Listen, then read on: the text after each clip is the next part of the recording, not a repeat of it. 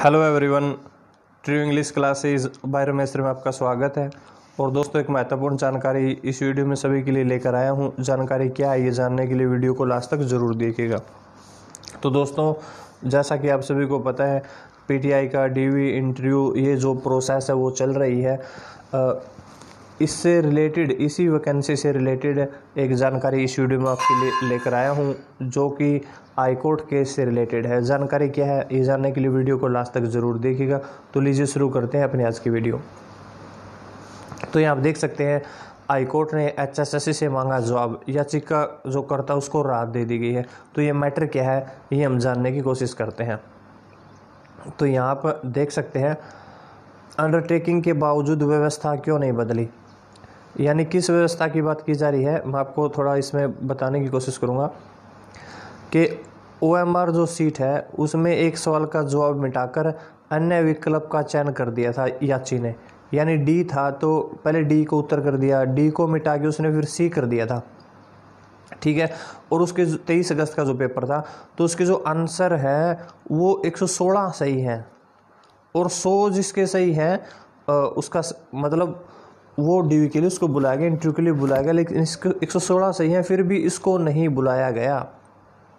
और इसके पीछे रीज़न ये है कि ऐसा कोई नियम था कि यदि कोई भी एक ऑप्शन को मिटा के दूसरे ऑप्शन पर टिक करता है तो फिर उसकी सीट की जाँच नहीं की जा सकती। इसलिए इसकी भी सीट की जाँच नहीं की गई।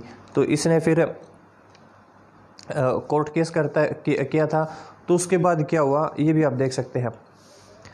तो फिर यह कहा याची ने। याची ने आयोग को प्रस्तुति पत्र देकर आगाह किया कि सवाल नंबर नब्बे के अंक काटकर उसकी ओ एम आर शीट की जाँच कर ली जाए यानी उसके नंबर काट दिए जाए।